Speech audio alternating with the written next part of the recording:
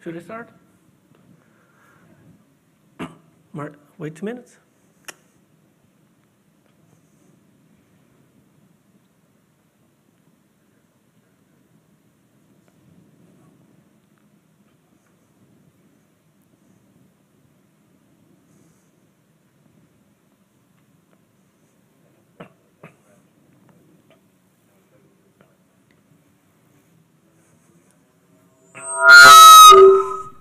Okay, okay, okay, I got it, got it.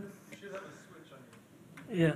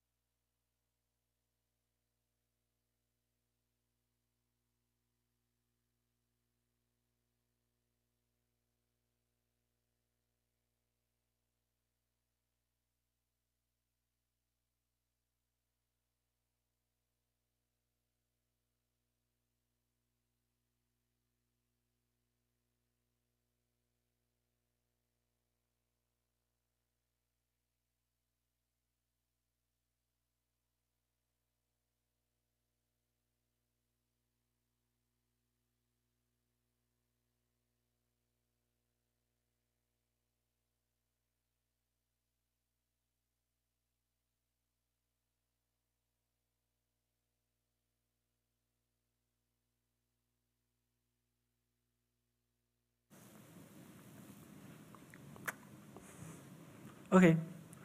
So, hello, I'm Daniel, and I'm here today to talk about a tool that we integrated in the kernel um, two releases ago, 5.17, which name is Real-Time uh, Linux Analysis Tool, RTLA. And uh, I work for Red Hat in the real-time team, and I, and I basically work this, doing analysis on the real-time, and now working on runtime verification on the, on the logical aspects of Linux, but basically trying to make analysis out of the, of the kernel by analyzing tracing, basically, right? Always trying to put some, some, some backgrounds of theory where I'm, I'm come from, mostly. So Linux has been used as a, a real-time operating system. It's a fact, right? People might, might not like it, but it's a fact. And there are multiple reasons for people to use it. Uh, one of them is the software stack. Like we had just had the presentation about ROS. Things are, are being built to run with Linux as the default operating system. And we have uh, manpower, people that know how to use Linux, like, and uh, but mainly because Linux nowadays achieves the desired timing behavior. Uh, the, the, granularity of the scheduling decisions that we have on Linux are good enough for the vast majority of applications, right? And uh, there are some key features to, to help on that. One of those is the fully preemptive mode, the preempt-RT, that hopefully will not be the preempt-RT anymore. Like in the next release, it will be just Linux in this mode and, and real-time scheduling with sched deadline and, and among other things, right? So, however, one of the problems that we have nowadays is that the timing properties of Linux, they are, they are analyzed using a, a black box approach which sometimes is not that convincing when you need to run things like on safe critical systems. so for example, we have cyclic test and sysjitter OSLAT that try to mimic some workloads, typical workloads, and try to report a latency, and, and uh, then we can move on, trying to see if, uh, if it's good or not. Uh, the black, black, box, uh, black box approach, it works. There's nothing to say. Developed, preempt-RT was developed using it, so it's not that it doesn't work. It, it works, but it has some drawbacks. For example, it, it doesn't give a root cause analysis of the problem. And uh, there are ways to do the root cause analysis, most, mostly involving trace, uh, but tracing is not that accessible from non-experts, right? and, uh, and also, trying to select the things that you would like to trace and try to refine, going back and forth on the, all the possibilities, takes time. And, uh, and moreover, uh, another argument is that with the merge of the preempt-RT, the real time will go to the masses. so all, all, the kernel developers will have to start testing their algorithms with the preempt-RT because uh, a, a, regression on the preempt-RT will not be a regression on the preempt-RT pet set, those guys in the garage. It will be a, a regression on Linux. So, but, but not everybody is, is interested in learning all the details of RT. Like I'm not interested in all the details on file systems because there's, there's just uh, an amount of, of uh, knowledge that we can handle, right? Uh, so we should not impose to the, or the preempt-RT developer should not impose to all the other developers to be aware of all the details of the preempt-RT to try to debug. It, it's unreasonable. So, and that, that is the story that brings to the, this new approach that RTLA is bringing. So, the, the RTLA tries to turn that black box approach into a white box approach and integrates both the workload that we try to mimic to get that, uh, that latency measurement and, and uh, the tracing that allows us to figure out what happened when a bad value, for example, occurred. And uh, RTLA, it has in kernel, it uses some tracers. And in user space, we have a tool that makes easy for us to use those tracers in a more automatic way. And also to help out in data analysis. So kernel tracers. Uh, RTLA uses two tracers, the OS noise tracers that tries to measure the, the OS noise metric common on the HPC, but also common on RT nowadays with the usage of network function virtualization, uh, where, people try to isolate the most CPU and try to give one CPU for a, a busy loop ta task that loops on the network, right? And uh, the timer lat trace that is, is basically a cyclic test on steroids that uh, does that game of, uh, I, was playing better, just introducing timer lat is, is it's like cyclic test. So starting with the OS noise tracer. so the operating system noise is a well-defined uh, metric on, on HPC. And, uh, and it is basically the amount of interference uh, experienced by an application by the operating system activities, but not only, but any kind of uh, activities. And it's generally a very fine-grained metric. So trying to give an idea of the context, so HPC workloads, they are generally composed of parallel jobs. You have one, one dispatcher that dispatches the jobs for all CPUs. They run in parallel, and then when it's done, it collects the result, right? Uh, the problem of uh, um, OS noise is that by delaying the, the execution of, of one of these threads, you can create those those vacuum on execution, right? And delaying the entire ex execution of the computation. And there are some uh, HPC real-time workloads, mostly on the, on the networking side, where glitches like uh, operating system noise as high as 20 microseconds aren't tolerable, tolerant. Uh, so DOS noise tracer, uh, it's a kernel tracer you, you enable it using the trace infrastructure that also dispatches a workload. And it tries to mimic that HPC workload, dispatching, for example, one thread per CPU. Then, uh, the tracer also hooks to existing trace points and parse this data, trying to take out the meaning of that, that uh, trace. And uh, it's good that it's in the kernel because I can synchronize the workload and the tracers atomically. So I do not have false positives on the output of my tracer. Uh, there is a, a, paper that is under review, a peer-reviewed paper uh, under review where I explain all this in detail. It's hopefully will be published soon. It, it's on it's on the way where I go into the details. But the kernel documentation explain everything in the bits. Uh, so these, uh, these, the workload, the, the tracer dispatches the workload on CPU, it loops reading the time, and when it detects a glitch in the time, it reports, okay, there was a, an OS noise, and there was this amount of uh, tasks that interfered. It will, be, it be better with example. But it also can enable hardware or VM-induced latency. so, getting a little bit more practical. Uh, using the OS noise tracer, I can go to the tracing directory, and echo this OS noise tracer for the current tracer and read the trace. So this is the periodic output that the tool gives. At the end of a given period, that thread that was running trying to capture uh, OS noise latencies, it prints a summary. And this summary shows how, much runtime it, it, it took during this period, the amount of noise that that thread detected while running, how much CPU was available, so for my workload thread, and uh, from all those noises, the highest uh, noise from a single execution, for example, a, a, thread preempted, what was the largest one? It's printed here. Moreover, as I'm also tracing the system, I am able to identify already here to give a hint of what is causing those latencies. Uh, for example, I, I, say how many uh, IRQs happened, how many soft IRQs, threads, but also hardware, and I'll explain better how I detected this.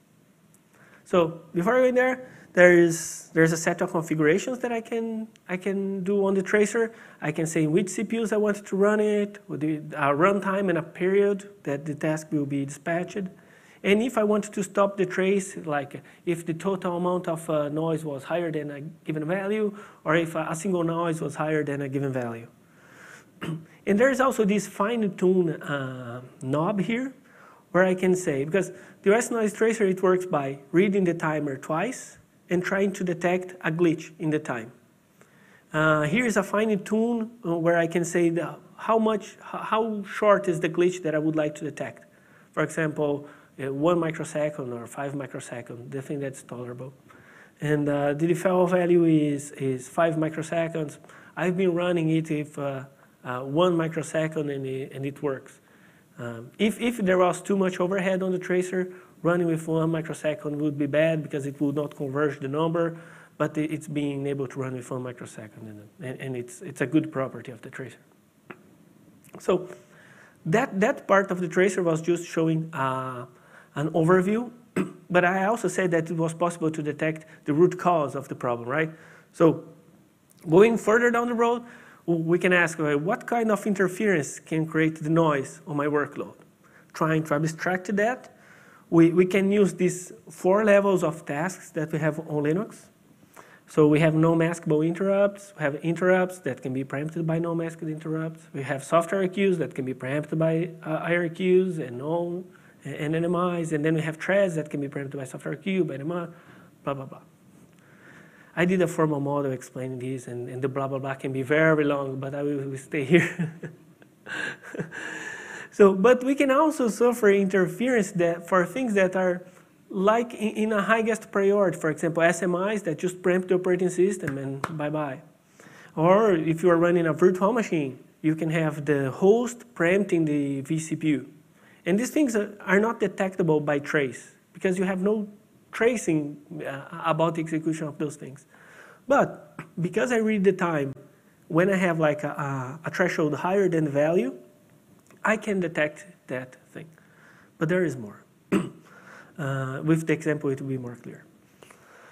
So, to be clear, uh, so for me to detect the execution of those four levels of tasks, the tracer added a more, four, four more trace points. And these trace points report the duration of each of those interferences. And uh, because like a thread, for example, I have my, my measurement thread running, a thread can preempt my thread. But while running this thread, I can have an interrupt inside of it, and, and, and then I can have an NMI, right? So we can have this nesting uh, uh, hierarchy of tasks. The trace points are aware of that, and they already uh, discount discounted value. They reduce the value of the interference of, of one on top of the other. So all the values here are, are net values. You, you, can just read the value and that was the, the overhead added by that task. You don't need to try to compute and figure out, okay, this value here is, my thread was running for one microsecond, but I have a, a 20 microseconds interrupt on top of it. So the tracer will say, the interrupt was the culprit for 90 and then my thread was just one, and that's why the, the overall is 20. Right? The, the trace points to all this magic in kernel, and that's why the workload is in kernel, so I can synchronize everything uh, atomically. Uh, and there is a trace point that when the workload detects this, this noise, it prints two things. The amount of noise that was uh, detected by the tool and how many interferences from tasks were detected. And that will be useful to explain this. So here is the system running. I set it to stop if there was a noise higher than uh, 8 microseconds. So it was running, and I see here the IRQ noise. It was this timer, and it started at this time, and this was the duration, blah, blah, blah. And then you can see how this trace growing up. Here, it detected one noise of 8.8 microseconds. And it's already saying this uh, noise was caused by the two previous uh, task, task execution. So I just need to look back for the two previous uh, events. So it was caused by this migration thread and the timer that run before it. If this interference value is zero, it was something below the operating system, so I can detect hardware noise and, and uh, preemptions on virtual machines. And because this data is synchronized, there's a nice comment on the code, how do I do the synchronization? Uh, there's no false positives on it. So you can trust on the data. So the next tracer is the timer lat tracer.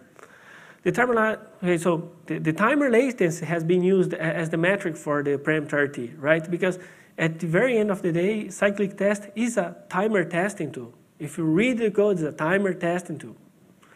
So it empirically measures the observed scheduling latency uh, of the highest priority thread or any priority you set to the thread, right? Uh, and uh, the timer lat tracer uh, measures the same metric. It tries to mimic that behavior. But it's integrated with tracing and has more data that you see now. So just trying to explain here if, uh, uh, how, how, for example, cyclic test works. You have your, your thread, you set it a timer in the future, go to sleep, and wait to be activated. So the external timer will activate an IRQ that will activate the task, that will read the time, and compute the, the, this delta, right? That's how cyclic test works.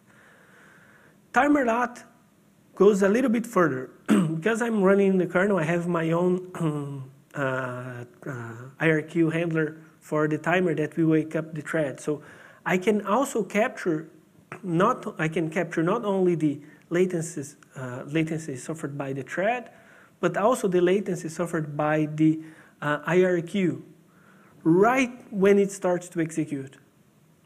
Right? Not, not when the IRQ wakes up the thread that would incur uh, have to figure out the, the amount of uh, overhead that I had on the wake up and taking RQ locks. No, it's just the IRQ handler starts running, it prints the, the latency. And that's useful to detect cases in which the hardware is causing me the latency. So uh, an example of running these tracers, uh, go to the tracing directory, you say echo timer lat to the tracer and run and read the trace. So here is uh, it. Uh, the there is this per CPU threads running in the CPU zero. There was the first activation in the context of the IRQ. The, the timer latency was 900 nanoseconds. Then, in the context of the thread that was later awakened, the overhead was 11 microseconds. And, this is the summary output of the two. It has the same set of uh, configurations that I had for OSLAT, but I can also say to the tracer to capture a stack trace of the thread that was running when the IRQ happened. And so I can use this information to figure out when, when there is a latency added by the thread, where this thread that was running here was executing. So I can look in the back trace and check the code there to see where is the section with a long IRQ disabled, for example. So timer lat analysis, again, uh, the latency can be caused by that uh, for uh, kind of, uh, of tasks, but also by the previously task running with preemption or IRQ disabled. Parenthesis here. Uh, in the future, there will be in the RTLA the integration of the RTSL tool that I developed as part of my PhD that can detect the worst case uh, latency with a theorem proving the worst case latency. but that, that tool will depend on having the IR, preempt IRQ disabled trace points that are a little bit more costly and are not enabled by default. So that's why we still have the timer lat tracing doing a halfway between these two tools. But that's for, uh, for next year. so again, I can use those same trace points with a, a, a slight difference. Uh, the NMI and the IRQ trace points, they reported the same value.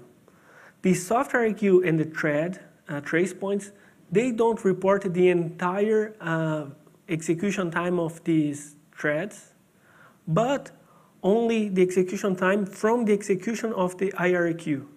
Because it's from the execution of IRQ, the amount of time that I care. So I don't need to try to compute the value to discount the, the total execution time uh, minus the, the thing that happened before the IRQ, which is the thing that I care. So I'm already doing the, this cleanup on the trace points already in the tracer to make it easy to understand the tracer so I don't need to go back in text files and do this thing that I've been doing for 10 years and I'm tired of doing it. so here's one example. I go to the tracer, I enable the, the tracing director, I enable the tracer. Uh, I say stop the trace if I have more than 500 microseconds uh, uh, noise and get the stack trace of the IRQ if the, the latest was higher than 500 microseconds. And here is the, is the trace, right? So I have my timer latency here. It was 1.6 microseconds, so the problem is likely not here. Things were running smooth. Then I have here accounting a timer noise of uh, uh, 11 microsecond, another timer noise. Oh, this 11 microseconds it was the timer that woke up the thread. Then I have yet another timer of seven, seven uh, microseconds that run something. We can later go here and enable other tracing, but that's something, but it, it's not the, the, the, main factor. And then I have here a thread noise of uh, 838 uh, uh, microseconds. So this is the dominant factor, right? The problem is here. So now let's try to, to look in the stack trace. So next page, but it's the continuation. Here I see this, okay, this is my timer.irq, it should be running, that, that's where I get the, the thing, it was blah, blah, blah, here's all the IRQ. Then I have this, okay, from here on is the IRQ. From, from here down, it's the, the thing that we're running before. This was just an example that I placed in documentation. I create a dummy uh, module that was just doing a one millisecond sleep with preemption disabled. And, and the tracer was able to capture that, right? It's dummy load one millisecond, preemption disabled. All the things that I'm showing here are exactly the kernel documentation that is on the kernel documentation thing. So it's basically, I'm, I'm it's an interactive read of the kernel documentation. so, uh, and now we get to the RTLA. So RTLA is a user space tool. And it serves as a front end to set up, trace, and do some data analysis of those tracers, right? So the idea is that it transforms those tracers into a benchmark tool, right? Because I'm interested on the numbers, not on only when it executes here and there, but the, collection of the numbers, right? And uh, it's in C. It's hosted inside the kernel, like perf and then the BPF tool, the, the tools inside the, the tooling directory. And uh, in this initial implementation, the RTLA has, has two commands, right? Uh, one is RTLA OS noise that measures the OS noise, and the RTLA timer lat that measures the timer latency. So uh, the RTLA timer noise is the interface for the tracer. Uh, it adds more options to the tracer. From the RTLA, I can change like the priority of my workload and, and uh, it allows me to enable other tracing features. For example, I would like to enable the default trace points of the workload, but also all the timer trace points or all the scheduling trace points straight from the tool. I can also enable things like the tracing histograms from this. And I will show on a demo what is possible. So it has this RTLA uh, OS noise has two modes. One is the top mode, that shows uh, uh, just the summary of the, the, of the workload, of the, of the summary of the tracer. And the OS noise hist that computes histograms. It just collects histograms, and so then they can be parsed into data that people can do a nice presentations like the one we had yesterday. so same thing, uh, timerlat. It's for the timerlat tracer. Some more options that I can do by hand there. Set the priorities of the thread, set it to run sched deadline, yada yada. And it has two modes, the top mode and the hist mode for the presentation. So I'm a, I'm a user testing my real-time kernel setup. I'm, I'm not like that guy that wants to be, oh, I am the real-time dude. I'm just using it, right? I have other things to care about. So, and I wanted to measure the latency and generate a report if my latency is higher than uh, 50 microseconds, right? Before RTLA, I had to set up cyclic test. I had to try to understand what I should trace and go to the Linux RT IRC channel and make this question yet again, what should I enable tracing? and who is on that channel knows that that happens and figuring out things by myself, by hand, by scripting. And, and actually, this was the thing that I was doing um, too. I had these tracers done, and, and I did this many times. Many times. That, that was my, before working on development at Red Hat, I was working at support at Red Hat, and that was the thing that I did every day, computing deltas by hand. BC was my friend.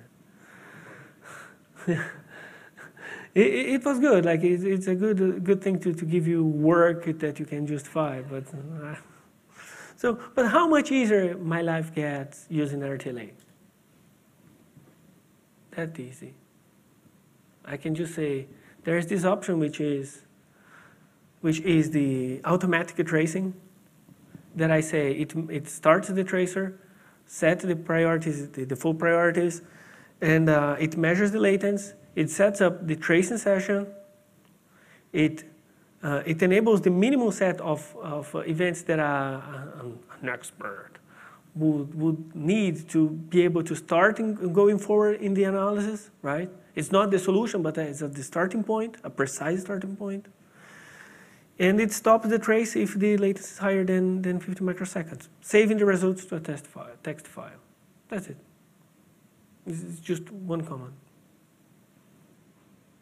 So at the end of the day, RTLA is the automation of, of an expert analysis. It was the automation of the things that we were doing at Red Hat for, for 10 years. And I did this, uh, uh, getting people by hand and say, what do you think about this? What do you think about that? Like Clark Williams and Juri Lelli. So we try to automate that. So just, just a demo here, uh, disclaimer, I am not a YouTuber. And I'm not, I'm, I'm good on taking photos, not on editing videos. Because photo is my hobby, but videos is not. So, here's, let's see, it's, okay. Here's a demo. It was, it says here pre 5.18 because it contains the features that I added to RTLA that was for the 5.18 merge window. It was before the release. But now this is the, the thing that you get on Fedora. If you do dnf install uh, RTLA, it's basically this code and it's already available on Fedora. The tracers are enabled, and the tool is packaging is being packaged now. And uh, it's uh, if it's not, it's on the way on SUSE. Daniel Wagner is working on that. And uh, I saw on that report of Ubuntu uh, enabling the PREEMPT, they also mentioned that the tool will be there. So it should be available for, for the, the main distros. And I still didn't write a, an article for LWN because I was waiting for the packaging because otherwise you need to say, oh, you need to install blah, blah, blah, blah, blah. And people say, okay, it's not turning my life easier. It's just, it's just, just telling me how to compile things. No, everything on its own time. So let's go back here. So the environment, just to explain my system. It, it's my, my working um, desktop, working, working station. So it's a simple system, 24 CPUs, a single NUMA node, 24 CPUs, uh, 12 CPUs, 12 threads, 12 more threads. And uh, I'm using uh, the PREEMPT RT, half of the, C oops, yeah, I said I'm not good with videos. Uh,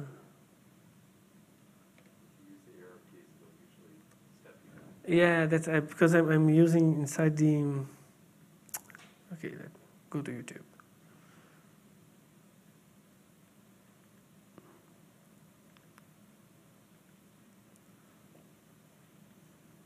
Okay, so half of my CPUs are isolated. That's why you see the difference on the results of one CPU and the other.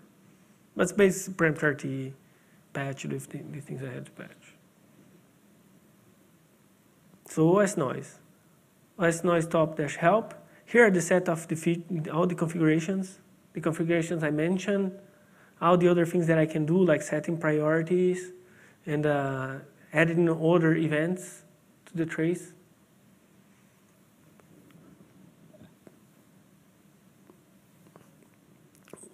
OS noise, I'm saying run OS noise with that tunable as one microsecond. And here it is. This is the top overview, it just do a summary, keeps collecting that summary from the trace and displaying it. So half of my CPUs have more noise than the others because uh, the system is just half of CPUs isolated. Uh, I'm seeing the IRQs, thousands of IRQ per second here because I'm having hertz, and here I have no hurt. And, and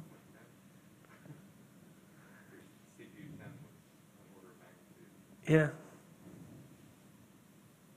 I have a nice analysis of it in the paper, but I need for it to be accepted before making it public. So here I'm starting a histogram, and Daniel from the past forgot to say sudo. And here you go. So it, it keeps running until I hit Control C. Uh, there is an option that is dash, and Daniel from the past will repeat this with delay. So, and, uh, and there is an, uh, a duration option.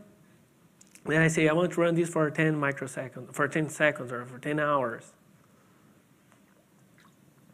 Here are the histograms of each noise execution, and some some values in the end with like the maximum, the minimum, the minimum, the maximum, the amount of noise and you can follow it.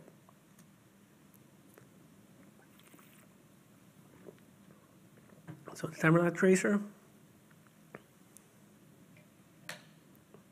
Again, all these default options plus some others like the more advanced event tracing and setting priorities. Like I can I can have timerlat running with uh, measuring latency with sched deadline. Doesn't make much sense because it's not a property of deadline scheduler to have good latencies. So I, I have uh, I set a, a, workload in the background, and now you see the non-isolated CPUs having a higher value because there is the workload running there. The isolated CPUs keep uh, the value low, and and ah, and here you see, see here it, it's this is the this is the, the cyclictest output, the like the thread latency. But here I also have the IRQ latency. And I can see here it's 12 here of 18. So hmm, there's something that's delaying the, the IRQ a lot. So I already have like from these from just this output I have already have more evidence of where to look at.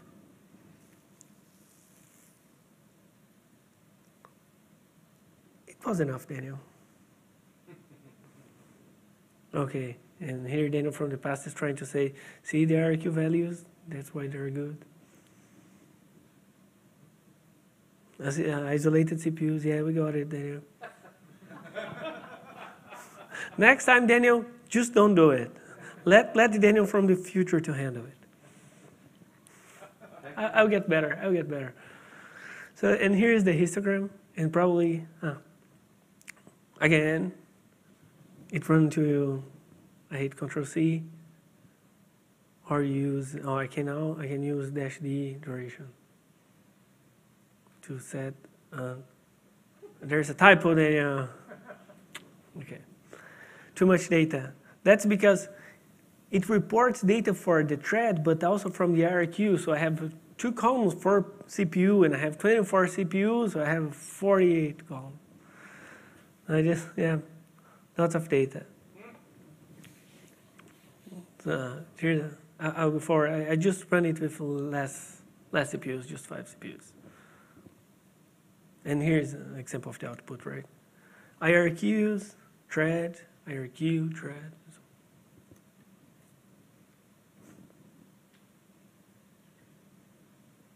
Use with care, and that I recall.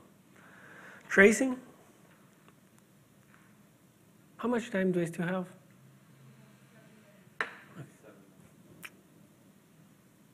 So it was, oh, let me see what Daniel from the past did. So stop the trace if there is a latency higher than 20 microseconds.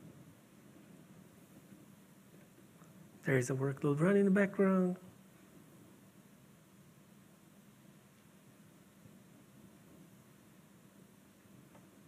So, okay, it stopped. Save the trace to the file. I will integrate, uh, instead of saving, now I'm saving, oh, it says, oh, the stop trace hit on CPU4. And then I can just look at CPU4 and then try to go back in time and understand. So thread noise, six microseconds, probably not the problem. IRQ noise of 13 microseconds. So in this case, was the, the IRQ had more, more, more latency than the thread, but it's, it's somehow counterintuitive, right? We generally think that IRQs are faster than threads. Advanced tracing. Uh, so here I'm saying I would like to create histograms for the thread noise that my timer is facing. And I would like to create histograms for the IRQ noise that my timer is facing. And then it runs. Fast forward. I think it was 30 seconds. Okay. Ah, okay, I said to stop the trace. Yes. Stop the trace on 25. That's so the trace is stopped. And uh, the values of the, the noise, the histograms, were automatically saved into files.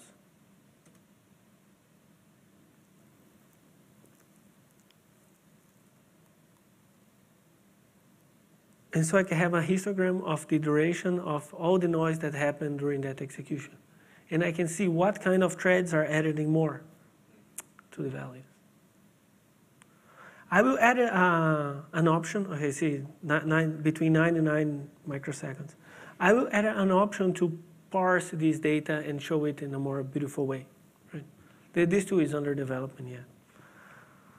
And I also add an option to save the, the trace file into a trace.dat uh, file that to be read with trace command and uh, with uh, KernelShark.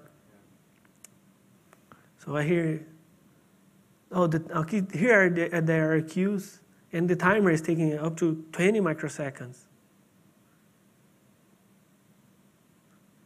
And uh, I think there, yeah, my, my network was added in 8 microseconds here. So all this information, it's now easy to collect.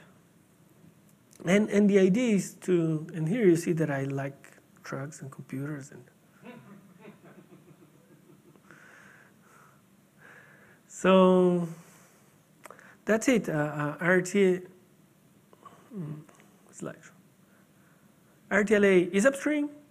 Finally, Daniel is not talking about the future and on his research projects. He's talking about something that is a product. And uh, it's upstream. The tracers are there since 5.14. The user space tool since 5.17. These tracers are enabled on Fedora and Red Hat products. They're also enabled on, uh, on uh, SUSE and on the recent kernels. And then the people in Ubuntu are also enabling it on the real-time kernel. The, the package is, is ready on Fedora. It'll be ready, if not already, on SUSE and Ubuntu. And there are more tools on the way. And here's the, the, the academic paper that I, I, made that I show the, that demonstrate the latency on the kernel. RTSL will, will, will soon be part of those tracers and uh, in the RTLA in user space. There will be more tools that, that we'll develop, uh, motivate people in the research to, to, to help on that. And yeah, that's it. Where is the, the paper going to be published? Uh, I cannot, so where is the, will the paper be published? I, I, I better wait for it to be published and, uh, and I will, it's a nice journal. I'm sorry, I, I'm not chat, um, I'm gonna butcher the pronunciation, so just bear with me. It says, what kinds of timers does timerlat support? Clock, NanoSleep, and Timer Create, and Timer SD? I'm using just one timer for now, which is the same timer that I use on that we use on the sched deadline. But the idea is not that to, to test that source, source clock, right? It's, it's, it's to test the latency for handling one, one case of timer. But that can, the, the kernel can be also extended, the tracer, and add other kinds of timers. So you said that uh, you were gonna uh, look at dumping a trace.dat file. Will kernel shark be able to show the IRQ uh, data as well? the Yeah, so, so the question is, uh, by editing the, the, the output on the trace uh, format used by the tracing tools, if it will be able to use on KernelShark, yes. That, that, that- that's why I will export the, the data into the KernelShark, into this trace.dat file, because it can be used on other tools that use it. KernelShark doesn't currently show like IRQ latencies directly. From the tool it will show, it's just a, a tracer. Okay. Yeah, it should just work out of the box. If you enable the tracers by hand via trace command, it will already show. You, you, can, you can use this tracer with trace command uh, as well. It, it works. So the idea is, is for it to be integrated with those. That, that's why I'm using tracing infrastructure. I'm, I'm developing on that because there is an ecosystem around it. Uh, the question is if I will upload the slides. Yes, it, it will be uploaded on the stop. I will stop. so I will upload it to, to the system. Probably ask me to upload, but otherwise it will be on my personal page. I put all the my presentations there, all my papers there. Jake? Oh no. Okay. Good. Thank you.